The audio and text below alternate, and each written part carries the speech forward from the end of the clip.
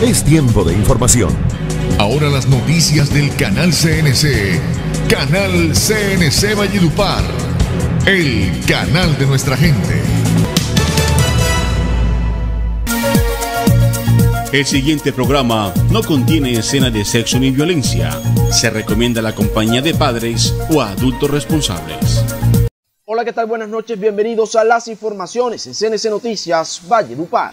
A continuación, les presentamos los hechos más importantes ocurridos en las últimas horas en todo el departamento del Cesar. Bienvenidos.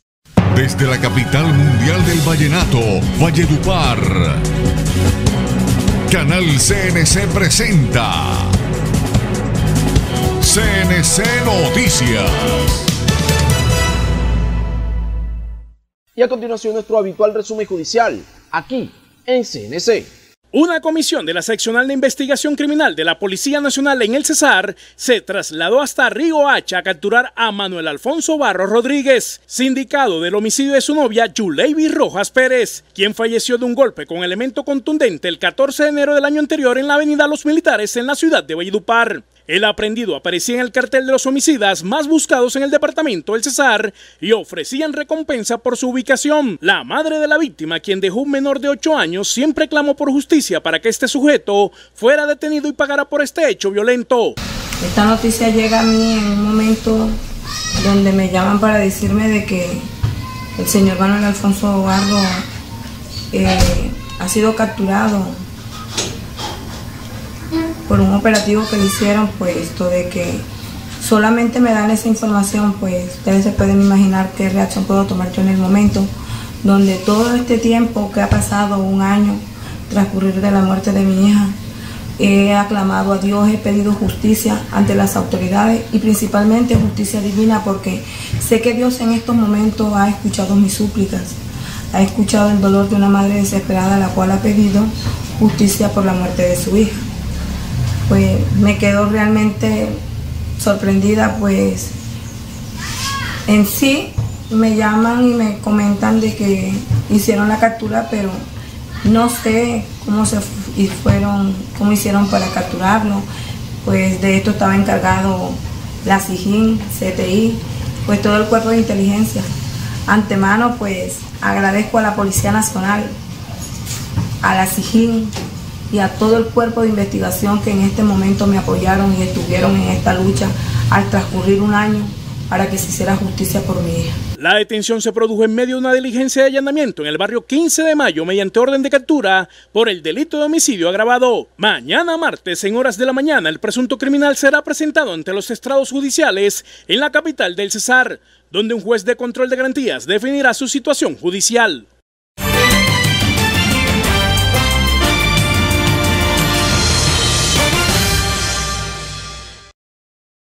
Varios hechos de intolerancia se registraron durante el inicio de los carnavales en Valledupar. Un joven perdió la vida tras sufrir un accidente de tránsito en la avenida de la ciudad de la 450 años de Valledupar. La víctima de este hecho fue identificada como Jesús Alberto de Aguas González, de 23 años, quien se encontraba supuestamente celebrando los carnavales se movilizaba en la moto de placas FSR80F desde el barrio Los Fundadores hacia el barrio Ciudadela 450 años. Iba en su vía cuando intentó esquivar un carro mula, perdió el control impactando contra una baranda. Aguas González al momento del hecho quedó tendido en el suelo y sin signos vitales, por lo que las autoridades de Policía y Tránsito y Transporte del Cesar se dieron al lugar, llevando a cabo indagaciones, procediendo entonces a realizar la inspección técnica al cadáver para trasladarlo a la morgue del Instituto de Ciencias Forenses de Medicina Legal de Bayupar a fin de la necropsia respectiva.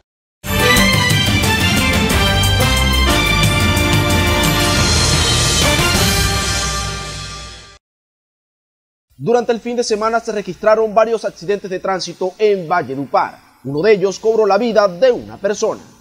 Un total de 10 personas resultaron heridas en un accidente de tránsito registrado entre los corregimientos de La Vega y Patillal, jurisdicción de Valledupar. Se presentó un siniestro vial tipo choque de dos vehículos en la vía La Vega-Patillal, en el kilómetro 5, vía departamental en la cual no tenemos jurisdicción la Dirección de Tránsito y Transporte. Sin embargo, se presta la vía colaboración, se levanta el siniestro. En el momento tenemos cinco personas están siendo valoradas. De acuerdo a informaciones suministradas a CNC Noticias, el hecho ocurrió cuando dos automóviles, uno de color negro y otro de color gris, impactaron, donde resultaron lesionados adultos, jóvenes y un niño. La comunidad de inmediato, al percatarse de lo sucedido, dio aviso a las autoridades y además procedieron entonces las ambulancias a trasladar a los afectados hacia la clínica alta complejidad del Caribe. Estupefactos quedaron las personas que presenciaron una riña en el barrio Los Fundadores luego que a un sujeto le incrustaron un cuchillo en la cabeza a su adversario. El hecho violento ocurrió en la transversal 26 con carrera 16 del barrio Los Fundadores de Valledupar. Se trata de Diego Fernando Santiago, quien fue trasladado inmediatamente al hospital Rosario Pumarejo López, donde lo sometieron a un procedimiento quirúrgico. CNC Noticias Bellupar habló con una tía del afectado, Emperatriz Resi, y dijo que Diego había peleado con un muchacho porque ese sujeto estaba consumiendo droga. Mi sobrino le dijo que no hiciera eso y de ahí le dijo que si se creía el dueño del barrio y que se dieran puño.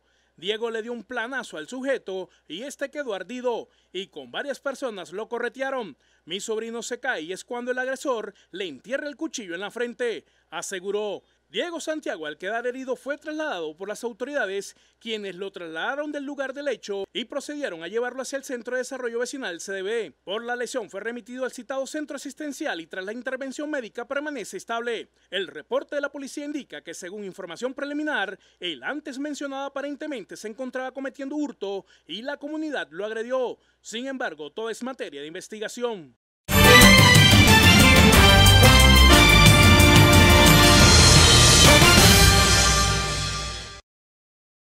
Bajo condición delicada de salud se encuentra una persona que resultó baleada en el sector de La Nevada. Esta persona fue identificada como Luis González Martínez. Un trabajador del sector del boliche de Baidupar resultó herido a bala en hecho ocurrido en el barrio La Nevada en el noroccidente de esta ciudad. La víctima de este hecho responde al nombre de Luis Carlos González, de 31 años, quien al parecer inicialmente estaba departiendo con varios amigos en un establecimiento abierto al público. Luego él y los demás se trasladaron a una vivienda para continuar celebrando, pero en ese momento llegaron dos sujetos en motocicleta. Entre el medio de ellos tres. Y entonces cuando dicen, llegan dos manes en una moto, le dicen quieto. Cuando le dicen quieto, el que está abriendo la reja se echa detrás de un palo, el que está chateando se queda ahí y él queda en el medio y le dicen, es contigo y de una vez le da el tiro. Ante tal situación, González fue auxiliado y trasladado hacia el hospital Eduardo Arredondo de Asa, sede de la Nevada. Cuando él le da el tiro, pues y se montan en la moto y se van, y él alcanza a girar con el tiro porque como que el impacto del tiro lo hace girar.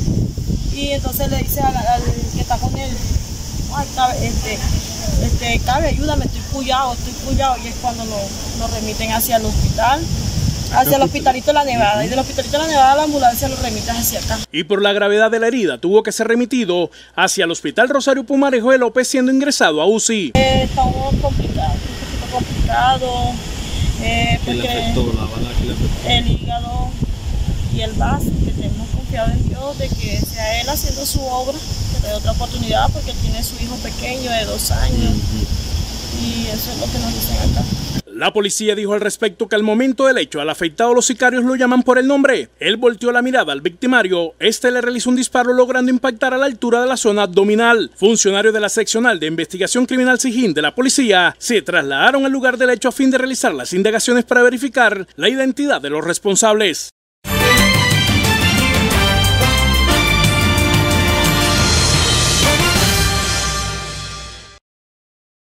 Hoy, justamente el 20 de enero, hace un año, fue asesinado el ganadero Juan Felipe El Purustaris en inmediaciones del corregimiento de Camperucho. Hace un año, los hombres de confianza de Juan Felipe Ustaris perpetraron su cruel homicidio. El Puro, como era conocida la víctima, murió tras recibir varios impactos con arma de fuego. Luego su cuerpo fue incinerado en los alrededores de su finca ubicada en Camperucho, zona rural de Valledupar. Los asesinos en diciembre del año anterior fueron condenados a 39 años, sentencia proferida por el juzgado cuarto penal del circuito con funciones de conocimiento. Estos delincuentes fueron capturados en medio de varios operativos que lideró el cuerpo técnico de investigación de la Fiscalía. Ellos son Oscar Antonio Pupo Martínez, conductor de la familia Ustaris, ahora apodado por los familiares del Puro, el monstruo de Camperucho, fue la persona que planeó durante tres meses el cruel asesinato. Al descubrir que su patrón tenía las sospechas de los hurtos que se registraban al interior de la finca Filadelfia. Este sujeto aceptó los cargos de homicidio agravado en concurso heterogéneo simultáneo con fabricación, tráfico, porte o tenencia de arma de fuego, accesorios, partes o municiones e incendio. Vladimir Antonio Luna Cano, alias El fue el hombre que asesinó de dos disparos al ganadero vallenato. Jackson Cano Surmay fue administrador de la finca Filadelfia durante seis años. Aceptó participar en el crimen al entregarle a su primo Vladimir Cano el arma con el que ejecutaron el homicidio. De acuerdo a lo indicado por las autoridades, hay dos personas implicadas en este hecho que no han sido capturadas y están siendo buscadas por la justicia. Hacemos una pausa y ya venimos con más noticias. Aquí en CNC emitimos desde la capital del Cesar.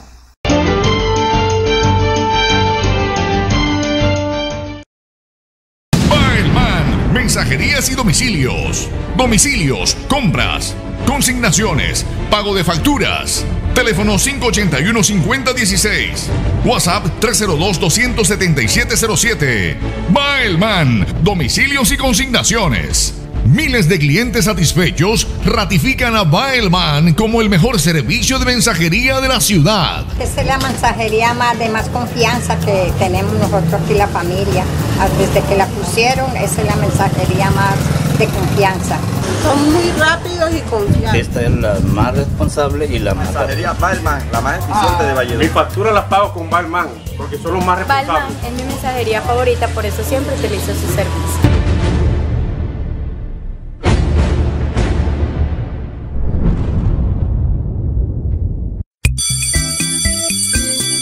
Regresa a clases como un poderoso, con los útiles escolares que encuentras en promociones El Poderoso. Morrales, cuadernos, uniformes, calzado escolar, lápices, crayolas, termos y mucho más. Promociones El Poderoso. Estamos ubicados diagonal a la plaza Almojabanera en La Paz, Cesar. Uno de cada cuatro niños en Colombia en edad escolar tiene obesidad o sobrepeso. Esto incrementa el riesgo de enfermedades graves en la edad adulta. ¡Basta! Exijamos restricciones a la publicidad de comida chatarra e información clara, visible y veraz en el frente de los empaques. No comas más mentiras, ni se las des a tus hijos. Una iniciativa de Red Papás. Infórmate en nocomasmasmentiras.org. Regresa a clases como un poderoso, con los útiles escolares que encuentras en promociones El Poderoso. Morrales, cuadernos, uniformes, calzado escolar, lápices, crayolas, termos y mucho más. Promociones El Poderoso. Estamos ubicados diagonal a la plaza Almojabanera en La Paz, Cesar.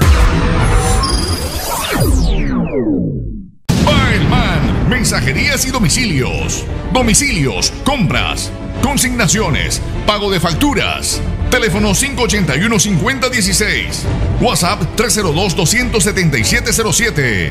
Baelman, domicilios y consignaciones. Miles de clientes satisfechos ratifican a Baelman como el mejor servicio de mensajería de la ciudad. Esa es la mensajería más de más confianza que tenemos nosotros aquí la familia.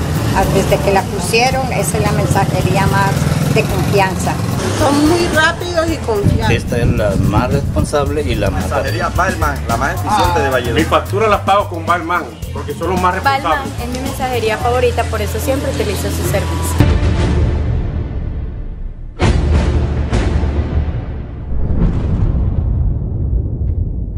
Estamos de vuelta con las informaciones en CNC Noticias Valledupar. Saludamos a nuestros televidentes que nos ven en los municipios de La Paz, San Diego y Manaure a través del canal 69, en el municipio de Pueblo Bello a través del canal 2, en Codazzi en el canal 14 y en la Cagua de Ibirico en el canal 4.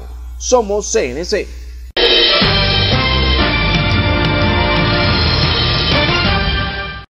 Y aquí en CNC Noticias hay más informaciones. Una noche mágica llena de mucho colorido y expresiones culturales fue lo que se vivió en la gran lectura del bando de los carnavales de Valledupar 2020. Vamos todos a gozar. que Valledupar es una, una rumba, una fiesta. Aquí los vallenatos también gozamos el carnaval, igual que en Barranquilla. Así que hay que gozar el partido del carnaval. Reactiva el amor por lo propio. Es una buena idea y es chévere que en Valledupar se retome nuevamente los carnavales como se están haciendo hoy. Revive la cultura y el folclore. Nos hemos preocupado por hacer unos carnavales que se centren en lo que estaba decaído, en lo que había desfallecido y hoy vemos este fervor y nos alegra mucho. Bailar zampao a medio lado, con capuchón o disfrazado, derrochar alegría y maicena y tener permiso para estar en Guayabao fue parte de la orden que dio la reina del Carnaval 2020 de Valledupar, María Alejandra Viloria.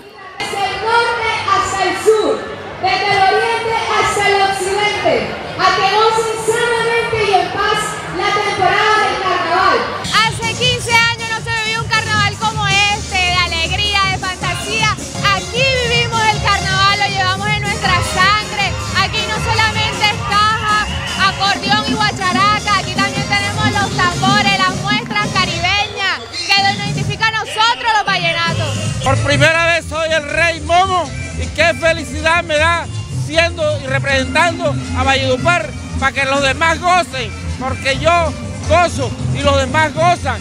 Vivan los carnavales en Valledupar y que sigan triunfando como hoy. Quien lo vive es quien lo goza y en Valledupar el carnaval una fiesta maravillosa.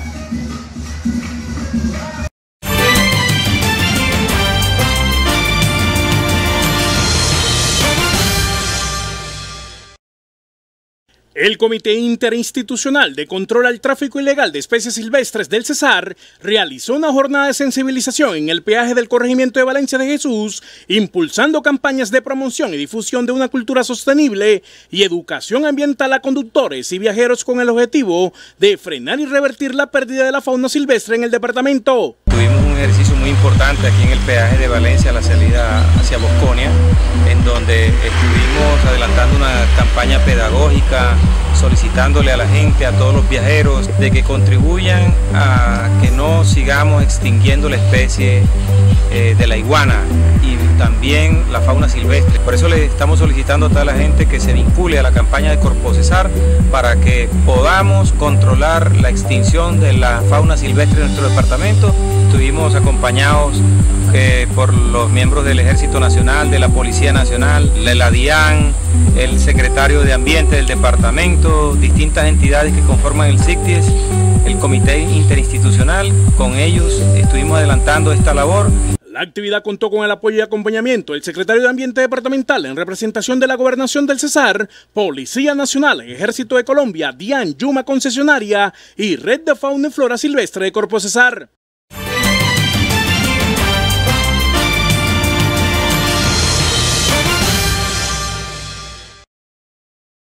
El alcalde de Aguachica, Robinson Manosalva, denunció que existe una conspiración en su contra. ¿Pero de qué se trata? Aquí les contamos. Denuncia pública del actual alcalde del municipio de Aguachica, Robinson Manosalva, de un presunto plan para atentar en su contra y la de su familia, agrava la crisis entre el burgomaestre y la coalición mayoritaria del Consejo. Quiero hacer una denuncia pública como alcalde del municipio de Aguachica. Qué tristeza que las maquinarias políticas lo que han manipulado al municipio, lo que se han desangrado la salud, lo que se han llevado la plata del pueblo, no han aceptado la derrota. Es por eso que lo hago públicamente. Porque hoy me entero que se está tejiendo una forma de atentar contra la vida de Robinson Manosalva o atentar contra su familia. Viene una presión política de aquellas maquinarias que no aceptaron la derrota donde quieren poner un personero o una personera que sea de los caprichos de las familias que se han llevado la plata de la salud en el municipio de Aguachica, donde han manipulado el hospital regional, donde han querido presionar a todos los aspirantes a la alcaldía o candidatos al consejo y donde se unieron para formar una sola cadena para enfrentar al alcalde, al hijo del pueblo, que llegó por el apoyo del pueblo y la bendición de Dios. Disputa que inició con la elección del personero. Están formando la cadena de poner un personero o personera que sea de los caprichos de ellos. Quieren el hospital local, quieren a Empoguachica, quieren el tránsito, porque les llegó el alcalde que los va a enfrentar y al pueblo le pido solidaridad. Señores habitantes de Aguachica, no podemos seguir permitiendo. Están sintiendo la pisada de un animal fuerte porque les llegó al poder, porque les llegó a administrar nuestro municipio y por eso lo hago públicamente.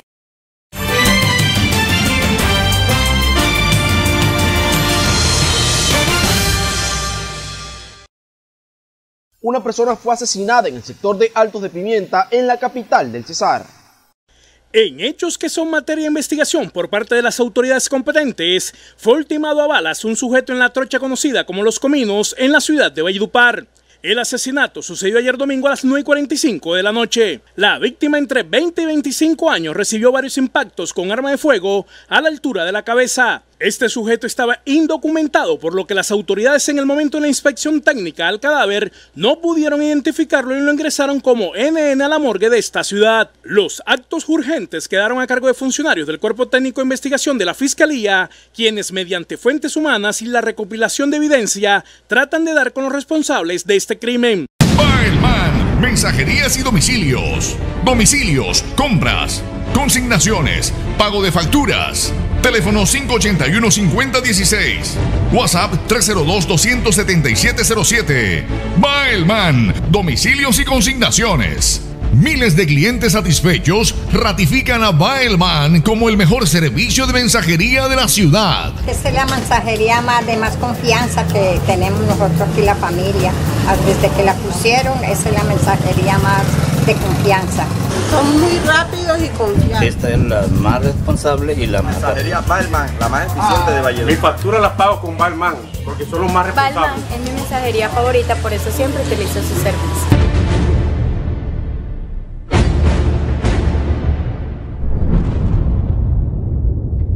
Y aquí en CNC Noticias hay más informaciones. En la Escuela de Policía General Santander se realizó la tercera conferencia ministerial hemisférica de lucha contra el terrorismo, donde asistió el secretario de Estados Unidos, Mike Pompeo, y líderes de toda la región. Yo hago referencias porque en Colombia el terrorismo lo hemos vivido en múltiples formas. El ELN ha cometido actos deleznables, brutales, miserables. Uno de ellos, el que vimos hace un año en esta escuela de formación. El evento se llevó a cabo en la Escuela de Cadetes de Policía General Francisco de Paula Santander en Bogotá, con la participación de la ministra de Relaciones Exteriores, Claudia Blum, y el presidente interino de Venezuela, Juan Guaidó. Condenaron el atentado terrorista perpetrado por el ELN contra la Escuela General Santander el 17 de enero de 2019, en el que 21 cadetes colombianos y una cadete ecuatoriana fueron vilmente asesinados. Asimismo, expresaron su rechazo a las actividades criminales de Sendero Luminoso. Expresaron su condena a las acciones terroristas del grupo organizado residual que constituyen una amenaza a la paz y la seguridad internacionales, a la libertad, al régimen democrático y a los derechos humanos. A la reunión asistieron los ministros de Asuntos Exteriores de 25 países. Igualmente estarán delegados del Comité contra el Terrorismo de Naciones Unidas, de la Comisión Interamericana contra el Terrorismo de la OEA, de Interpol y de la Ameripol, así como observadores de España e Israel.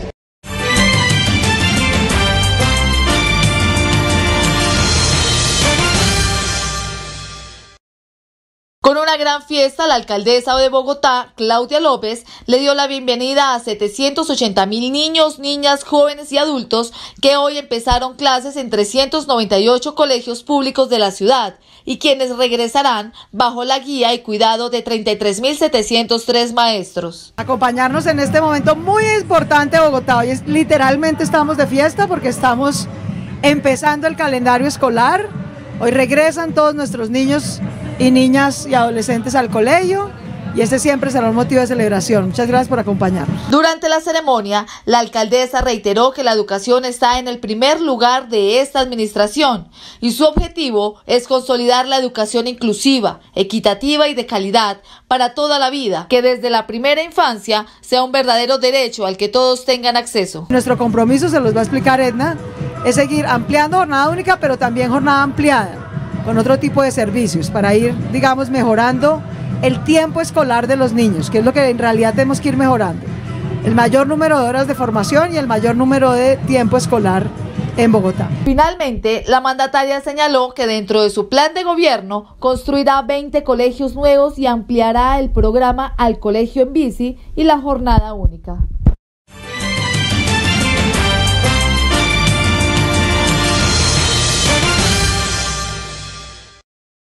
Cundinamarca se convierte en el primer departamento en adjudicar el PAE 2020. El programa beneficiará a 186 mil niños, niñas y adolescentes en 2.500 sedes de los 276 instituciones educativas oficiales del departamento. Agradezco al equipo de la Secretaría de Educación, quien hizo posible que fuéramos uno de los departamentos del país en adjudicar el programa de alimentación escolar en especial a la Procuraduría Regional de Cundinamarca, quien nos acompañó desde la apertura del proceso licitatorio en octubre del año 2019 hasta la adjudicación del proceso el día de ayer. Al convertirse Cundinamarca en la primera región del país en adjudicar la administración del programa de alimentación escolar PAE, los niños podrán contar desde el primer día de clases, el próximo 27 de enero, con servicios de alimentación. El proceso de licitación del programa alimentación escolar de Cundinamarca se encuentra publicado en la plataforma SECOP2,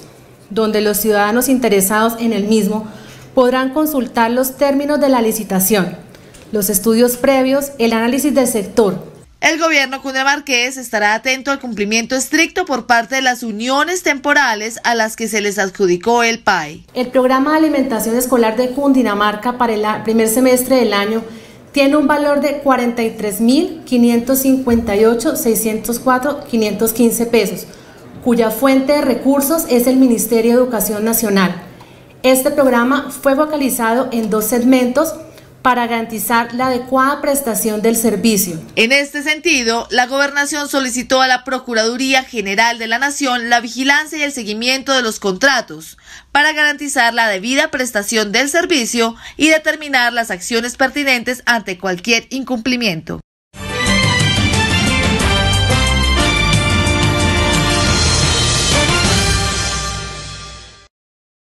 Con esto llegamos al final de las informaciones en CNC Noticias Valle Dupar. Feliz noche para todos.